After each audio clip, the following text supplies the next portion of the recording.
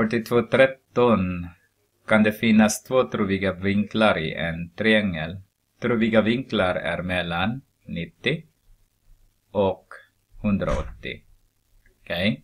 Så i A, till exempel vinkel A adderar med vinkel B adderar, adderar med vinkel C är lika med 180 grader.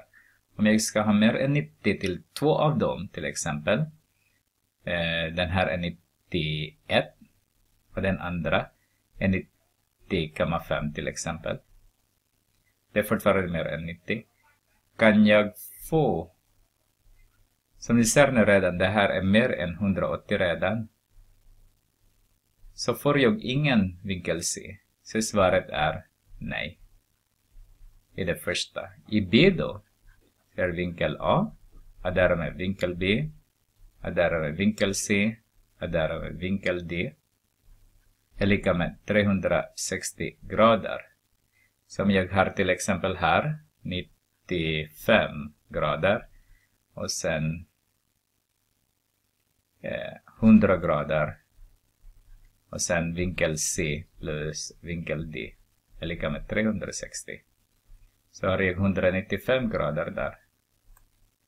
Plus vinkel C är där vinkel D är lika med 360 grader. Subtraherar vi båda led med 195. Med 195 grader.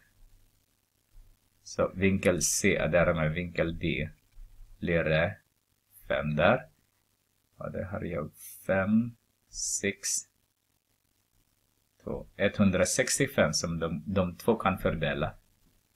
Så det går. Det går. Det kan se ut så här. Ja, det kan se ut så. Lite så.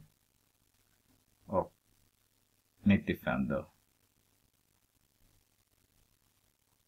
Så den här två är mindre än 90, men den här två är större än 90.